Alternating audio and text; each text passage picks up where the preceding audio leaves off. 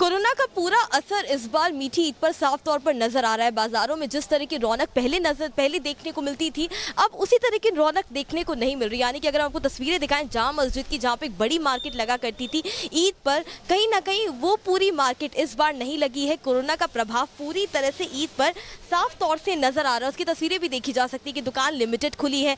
दुकानों में ग्राहक भी बहुत कम है, लेकिन दुकानदारों का क्या कहना है कि वो किस तरह से प्रिकॉशंस ले करके उन्होंने दुकान खोली है?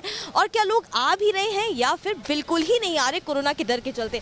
मोहम्मद फातिह जी, आप बताइए कि इस बार ईद कितनी फीकी हो गई है कोरोना के चलते? नहीं, मार्केट खुल गई है, लेकिन ग्राहक उस तरह से नहीं आ रहे हैं जिस तरह से आते हैं। यहाँ पे इतनी भीड़ होती थी कि आपको मतलब चलने के लिए भी सही से जगह नहीं मिलती थी। और आप देख सकते हैं, इस वक्त बिल्कुल मार्केट खाली पड़ी है। दुकानें भी ज़्यादातर बंद हैं। भाई साहब आप बताइए सुबह से कुछ दो चार पाँच छः ग्राहक आए हैं? कुछ अभी तक बिक्री हुई तो आ रहे हैं क्योंकि लास्ट मोमेंट है आज चाँद रात का दिन है ग्राहक तो आ रहे हैं लेकिन वही ग्राहक आ रहे हैं जिन्हें ज़्यादा ज़रूरत है या ज़्यादा ज़रूरी चीज़ लेनी है। और ये सेवई लेने के लिए तो हमें मानना ही पड़ेगा क्योंकि ईद की खुशियाँ तो सेवई के बिना अधूरी हैं। हम कुछ ग्राहकों से बात करते हैं।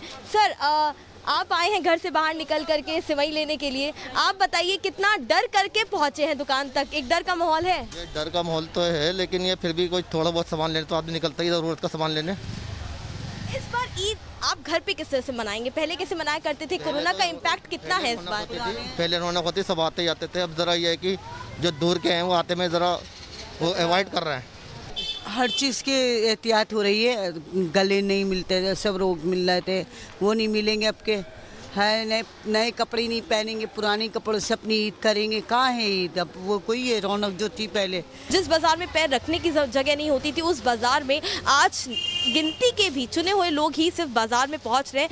सिवई लेने के लिए जिनको बहुत ज़रूरत है, वही सिर्फ़ पहुँच रहे हैं। ज़्यादातर लोग आ ही नहीं रहे बाज़ार में, इसलिए कहीं ना कहीं ये मीठी ईद इस बार काफ़ी हद तक फीकी हो चुकी है। लोग घरों पर भी, रिश्तेदारों को जो इस तरह से इन्वाइट किया करते थे ईद के समय, इस बार इन्वाइट भी नहीं कर रहे हैं, गले मिलना अवॉइड कर रहे हैं। तो कहीं ना कहीं रौनक जो है, जो ईद है पूरी तरह से जो रौनक है ईद की, इस बार काफ़ी हद तक कम हो चुकी है। जाम मस्जिद से वीडियो जो कमल किशोर के साथ हर्षद न्यूज़ नेशन।